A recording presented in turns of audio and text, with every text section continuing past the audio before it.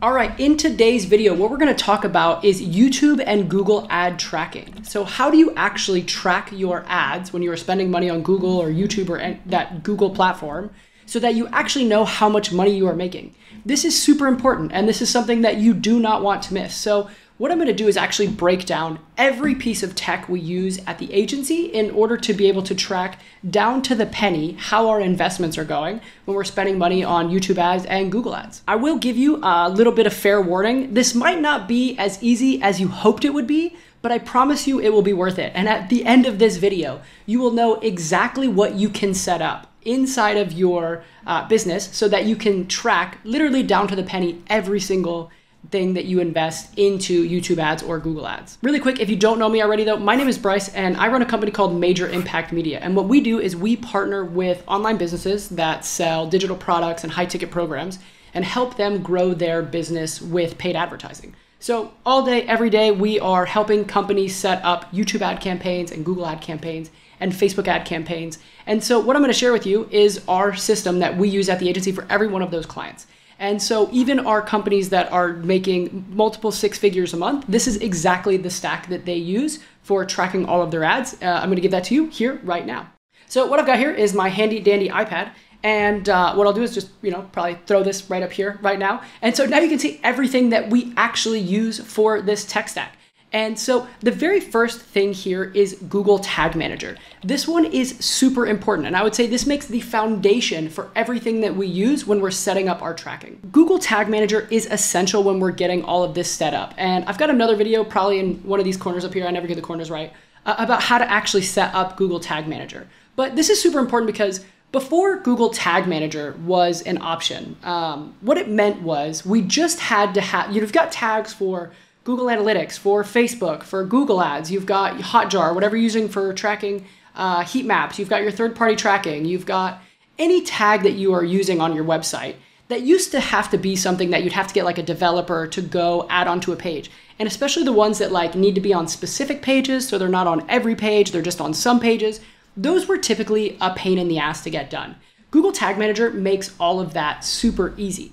And so now what you can do is you can just put one script on your entire website. You just put it in the header on every single page. And then with only a very few amount of exceptions, you can have literally every single tag that goes on your website fired through Google Tag Manager.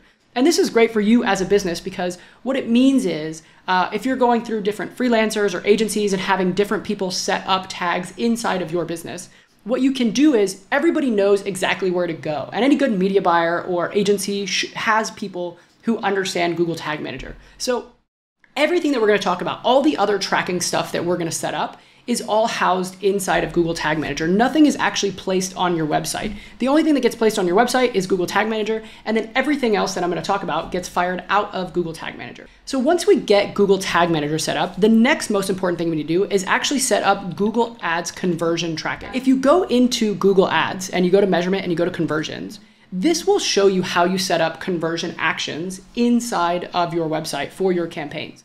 So this is where we need to set something up for every single important action that is going on inside of your funnel.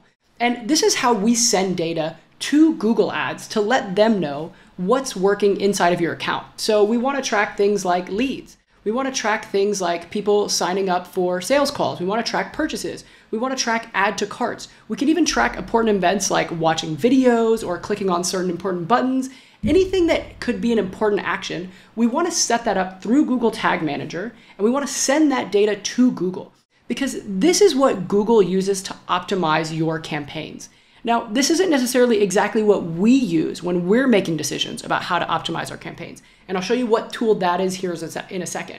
But we've got to make sure that Google has all of the data that it needs so that its algorithm can go out and find more people who are becoming leads, watching important videos, signing up for sales calls, purchasing your products. All of these things are super important pieces of data for the platform to understand because nowadays, any platform you're running ads on is basically an algorithmic machine that is learning all about your campaigns, who's taking important actions, and finding more people like that. But these platforms are only as good as the data they receive.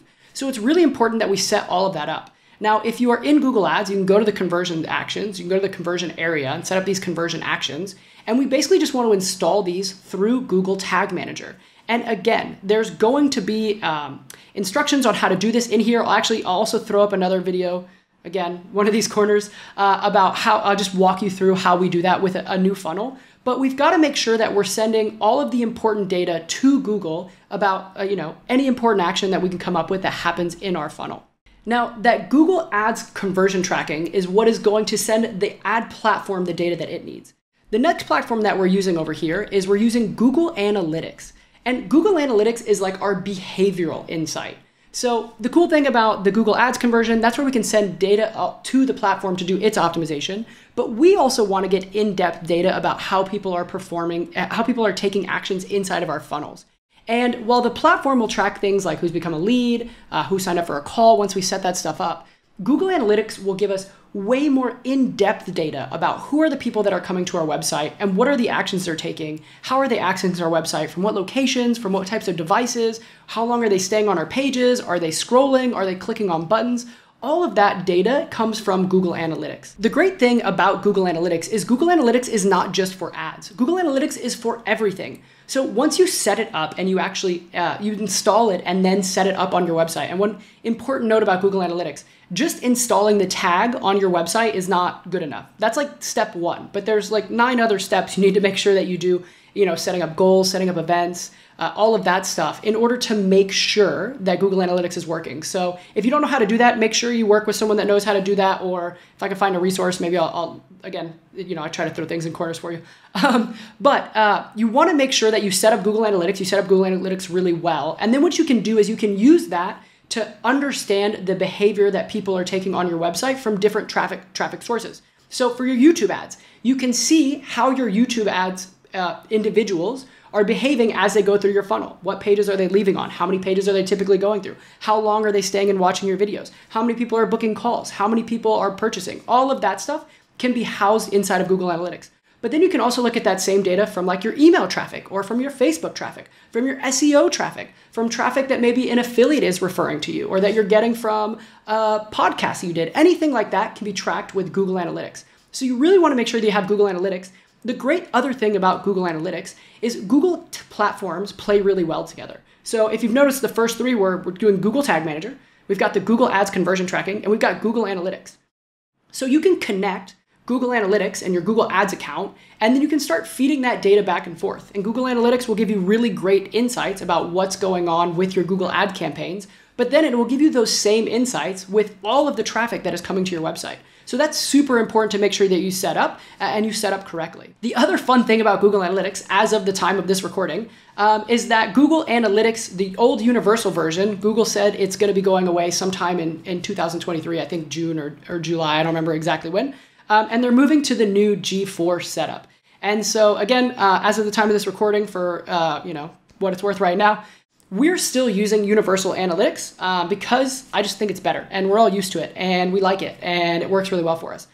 Google is going to be getting rid of that sometime in, in, in 2023 and it's pretty easy to figure that out by Googling it. Um, unless they change the release date or whatever. But um, we set this up and we do the same setup as we would with any Google Analytics account. So, you know, we do our audits, we set up this, and then we set up all of our conversion tracking and lead events and, and all of that stuff in G4 we are still using universal analytics to make most of our decisions and use because we've all just, you know, over many years of using Google Analytics have learned how that works. Um, G4s, I still just think is kind of weird, but I'm sure my opinion will change once I'm forced to start using it again. So, uh, start forced to start using it. So, I would definitely set up both analytics versions uh, as of right now. So, we set up Universal Analytics and we do all of our checklist of goals, events, filters, um, views, all of that stuff inside of Universal Analytics. And then we go to G4 and we set up goals, conversion events, um, uh, lead, tra- lead tracking, all of that stuff. And uh, yeah, as of right now, we're mostly using Universal Analytics, but we'll probably be moving over here in the near future once we're forced to. All right, so the next thing we've got over here on the list is our CRM source attribution tracking. So this is probably our most barbaric way of doing tracking, but depending on what platform and tech stack you're using, this is actually a really easy thing to set up and it works pretty well. So we typically will have uh, individual landing pages per traffic source. So we might have a landing page for Facebook, we might have a duplicate of that page, but maybe a little bit different um, for YouTube. And if we've got any other traffic platforms, we might have different landing page for different tra- traffic platforms. that are kind of different on ramps to our main funnel that we're running ads to. And so oftentimes what we will do is we will just set up a tag inside of our CRM that says when someone opts into the YouTube ads page, it just says like this person came from YouTube. Uh, another cool option, depending on what traffic uh, landing page builder you're using, you can use something called hidden fields. And so with a hidden field, you can just pull in the UTM codes from the URL bar straight into the CRM. So like what we've got in Active Campaign, our, our tech stack that we like to use is Active Campaign and Convertri. So with those two, what we can do is pull the UTM source, UTM medium, uh, UTM content, UTM term, and UTM campaign, and we can just attach that to the person when they opt in. So we can actually just go back to the CRM and see where they came from, specifically inside the CRM. Now, the reason I say this is a little barbaric is because it's not the most efficient thing to use. Someone does have to manually review that. It's kind of hard to pull reports based on that stuff. But the nice thing is, if you ever have doubts about where somebody came from, you can just log into your CRM and you can see where they originally opted in. Now, if you're using tags and you see something like, oh, this person opted in on YouTube and Facebook, uh, chances are you've just, you know, you've got somebody who's going through multiple funnels and seeing multiple touch points, which is great. That's what you want your marketing to be doing. So again, there is no 100% perfect tracking system, but this works really well. And this is just kind of our backup so that if all else fails, we can always go into our CRM and manually review where people came from. Because sometimes you have these weird things where you like get to the end of the month and so you got a new customer and you're like, where did that person come from? And they're not showing up on any of your traffic platforms, uh, your tracking platforms. And you're like, man, I don't know. Well, you can just go to your CRM and check. So that's a nice thing to have as like a backup. So the last thing I've got here is our third party tracking platform. So right now we're using Hyros. That's the one that we really like. I've, I've been around long enough to know that um, these things change over time. So we used to use a different platform. We moved to Hyros. We're really happy with Hyros right now. I would definitely recommend anybody who's running ads and spending lots of money and wants to grow, use Hyros. And if we find something else in the future, I'll, you know, probably uh, tell you about that then. But for the meantime, we are using Hyros to track all of our stuff. Now, I find Hyros to be an essential tool for what we are doing. If you don't use Hyros, that's fine. There are lots of other options out there, but you do need some type of third party tracking platform. Because what you will find with all tracking platforms is that none of them are perfect. And especially with pixel data, we typically find that it's wildly inaccurate. If you're using Facebook, what you will find is Facebook wildly over reports what is going on in your ad campaigns. So you'll see $30,000 in sales and only $10,000 is actually in your shopping cart. Um, that's because Facebook overreports things. What we've seen with Google and with YouTube is Google tends to underreport things. And that's probably because just based on the insights that they have, um, they can't track every single sale. And so what ends up happening is they just can't see all of the sales. And oftentimes they miss where the sale came from. And especially like if you're selling high ticket and you have a longer sales cycle. So imagine somebody opts into a campaign and then four months later they end up buying through an email, Google Analytics or a platform like that would think, well, this email drove this sale.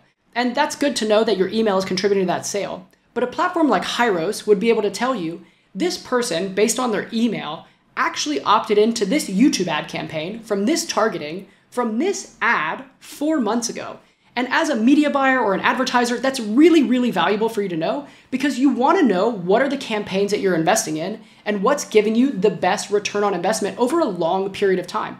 And especially if you're in something like high ticket, that sales cycle might actually be really long. So having a third party tracking platform is pretty much essential these days because with iOS 14 and all this stuff, tracking just keeps getting a little more confusing and pixels just don't work as well as they used to. So a platform like Hyros lets you attach basically emails and IP addresses to the people opting in through your campaigns.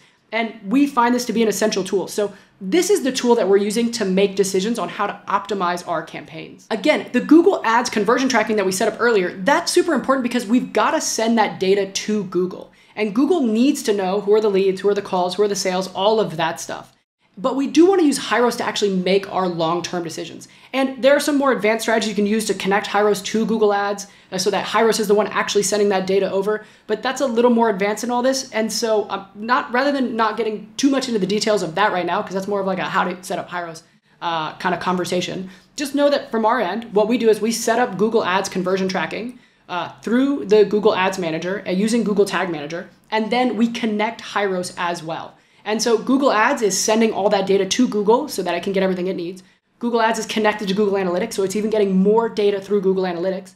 And then we're using Hyros to make day to day optimization decisions. And then the very last thing that I've got here over here on the list is just any other traffic platform that you're running ads on. So every traffic platform is going to have its own pixel setup and all of that stuff. So if you're running Facebook ads, that's got its own pixel setup that you need to get done and you need to send all the important events to that platform. If you're running TikTok ads, that's got its own pixel and you need to set that up to send all of that data to those platforms. If you're running something like native ads, that's got its own, every platform has its own pixel. And again, because all of these platforms are basically becoming algorithmic based, you know, machines, you need to make sure that you can send as much good data as possible to the platforms so that they can optimize because they will only be able to optimize as good as the data that you can send them. And so we want to make sure that every traffic platform is getting the cleanest, uh, most accurate data that you can possibly send over using those platforms. So uh, if you're setting up uh, Facebook, um, I've got one of these videos up here where I actually walk you through how we set up the Facebook pixel with Google Tag Manager. So it kind of walks you through step by step. And then again, any other traffic platform you want to use, you just set that up inside of Google Tag Manager and send that data to that platform. So that is it. That is the entire tracking setup that we use when we're running YouTube ads or Google ads to set up conversion tracking and attribution tracking so that we can measure down to the penny every single thing that we are spending on these platforms. We can see that in a platform like Hyros. We can double check it with our CRM tracking. And then we've got Google Tag Manager, Google Analytics, and the Google Ads conversion tracking, sending all of the data that it needs over to the ad platform so the ad platform can continue to optimize. And then, yeah, because we're using Google Tag Manager, it's all very easy to manage. If you have multiple marketing agencies or freelancers or anything setting up all this stuff or doing conversion rate optimization, all of that, most of that can all be set up through Google Tag Manager. So it's all nice and clean in one spot. And then what happens is you've just got one tag on your website uh, that is the Google Tag Manager tag. If you found that interesting, I've actually got another video coming up over here where I break, break you through how we actually run YouTube ads. So I would definitely recommend checking out that video next. Uh, other than that, I hope you have a great day and I hope to catch you in the next video.